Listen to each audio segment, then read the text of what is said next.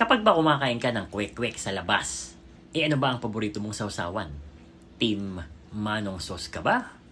Or Team Babad Suka?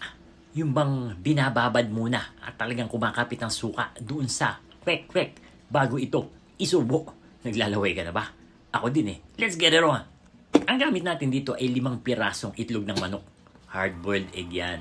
At dahil nga nasa abroad tayo, eh kailangan gumamit tayo ng alternative. Wala kasing itlog ng pugo dito. So binalatan na natin atin naman itong hihiwain. Hiniwa natin sa apat and then hahatiin pa ulit natin. So naging walo. At sa libang itlog, eh meron tayong 40 pieces. Ang laking tipid, di ba? Sa ating butter, meron tayong 1 cup na all-purpose flour. 1 4 cup ng cornstarch. 1 tablespoon ng baking powder. Salt. At ground black pepper.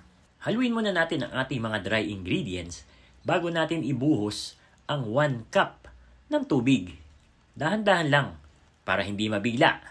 At meron kasing harina na hindi naman matakaw sa tubig. So sakto ang 1 cup dito sa ating mixture. Nagtunaw naman ako ng 1 tablespoon ng anato powder sa 2 tablespoon ng tubig. So ito yung magiging pangulay natin, hindi food coloring. Sa isang maliit na bowl, naglagay ako ng 1 4 ng cornstarch. Dito naman natin, i-coat yung ating mga itlog bago natin dalhin dun sa ating ginawang butter. Kung nag-aalala kayo na hindi magiging bilog ang kalalabasan nitong ating mga kwek-kwek, pues, eh kayo na humusga. Mainit na din ang ating mantika. Kaya isa lang na natin ang ating mga kwek-kwek. Bigla ko kasing na-miss ang kwek-kwek. Kaya gumawa ako ng paraan para makatikim nito. At para na din makapagbigay tayo ng idea sa iba nating mga kababayan na nasa ibang bansa na kung gusto nyo makatikim ng kwek-kwek, eh hindi nyo kailangan ng itlog ng pugo dito.